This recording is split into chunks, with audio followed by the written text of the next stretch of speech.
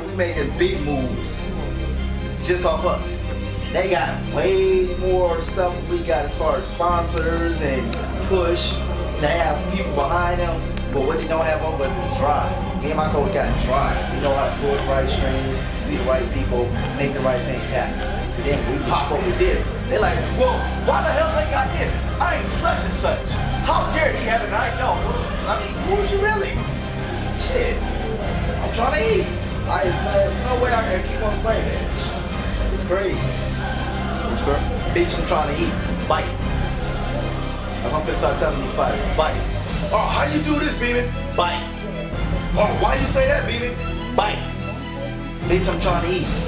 And if you ever get offended off that, why not change it? Beeman is trying to eat. That's what I say. Beeman is trying to eat. Bite.